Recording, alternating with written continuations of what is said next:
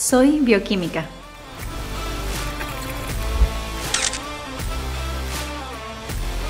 Soy abogado. Soy profesora de educación física.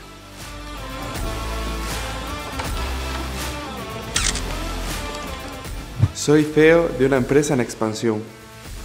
Formándote en las universidades públicas de Andalucía, puedes ser quien tú quieras.